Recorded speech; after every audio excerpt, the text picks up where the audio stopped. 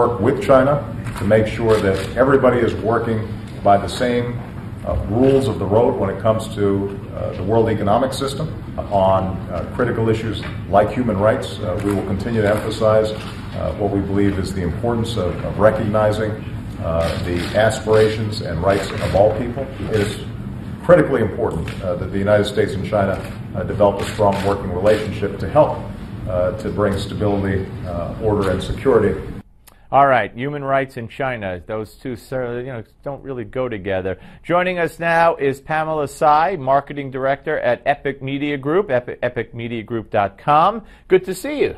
Nice to see welcome, you, Steve. Welcome here. All right, uh, you, you, know, it, it's very important that people are become aware of what you're going to tell us about, and that is China's information and uh, uh, their information war, I guess it is, to kind of uh, change the American perception about the Chinese government. And uh, unfortunately, to a great extent, they, they succeed in doing that, don't they? Yes, absolutely. Uh, in fact, uh, most of the Chinese uh, newspaper and television in America is actually either directly controlled or heavily influenced by Beijing. And that's a fact that most American people are not aware of because uh, a lot of us, we don't speak Chinese and we couldn't tell the difference. But as a Chinese American, we see that every day. And so I think it's important to bring to the attention of the public. How, how do the uh, Chinese, how, how does the Chinese government control? I would think Chinese newspapers and media in America would be, you know, for the most part, outspoken against the uh, repressive uh, human rights regime in China, but that's not the case. You're absolutely correct. Um, all the topics that are strictly censored in Beijing are also censored here in America um, by the uh, Beijing-controlled newspaper. For example, the persecution Falun Gong, the pro-democracy movement, Tibetan human rights, you know, uh, Taiwan, all of these topics are strictly censored. And so Epoch Media Group is the only Chinese newspaper and the largest who is reporting the truth to inform the Chinese Americans here in America. And also we publish it in, in English and to inform the Western society. That, that helps a lot. Now you have a newspaper there as an example. Uh, tell us what you're going to show us there. What does this show? Yes, absolutely. Uh, this is the World Journal, uh, which is one of the largest Chinese newspaper in America, and it's influenced by Beijing. And so, um, and here you'll see some American advertisements. Yeah, that one happens to be State Farm. State Farm. Now we're not we're not going after companies no. specifically, but we're just put, making a point here that American companies yeah, support they, they, support these publications and they don't know what they're supporting. Absolutely. So how do you how do you educate them? Well, we really uh, hope to inform the um, uh, American companies about what's going on because a lot of them are relying on the Asian advertising agencies who are either run by the Chinese people or have Chinese partners who are very heavily influenced by Beijing. Right. And so they're telling their clients not to uh, support or putting in the advertisement in a free and independent Chinese newspaper because they don't want to upset Beijing.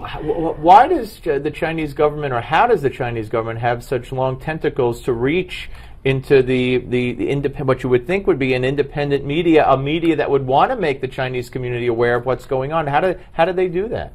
Well, there are four ways. Uh, according to a report by Jamestown Foundation, um, you know, they uh, control the uh, Chinese newspaper in America through either buying, you know, um, the share or threaten them, say, if you have families back in China. You better watch what you do. Yes. Yeah. Mm-hmm. So the intimidation factor. And, Absolutely. And yeah. No, it's a it's a very interesting topic, and uh, uh, most people are not aware of it. And good luck. I hope this helps in making uh, corporations and uh, and others aware that uh, they got to be on the lookout. Thank you so all, much. all is not as it seems. Thank you for coming on. Appreciate it. Thank you so much for having us. My pleasure. All right, uh, ladies and gentlemen, give me five is next, and we're going to concentrate on yet another uh, Hillary Clinton segment that you're not going to want to miss, I promise you. Uh, and of course, every day, right after the Steve Malzberg show at 7 p.m. Eastern, right here on Newsmax Television, you know what comes your way.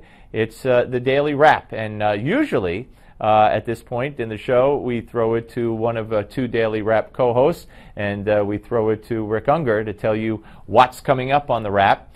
today, though, uh, we're going to do what we also do from time to time, but throw it to Joe Concha, and he'll tell us what's ahead on the Daily Wrap. Again, kicks off right after this show at 7 p.m. Eastern. Joe? Thanks, Steve. Coming up tonight on the Daily Wrap, Donald Trump now being told to tone it down by the head of the Republican National Committee. We'll tell you why that demand is falling on deaf ears. George W. Bush in some hot water today over taking $100,000 for a speech to wounded veterans. The Obama administration revises a plan once criticized as death panels. And summer camp begins in Sun Valley, Idaho. But you need at least $1 billion just to attend.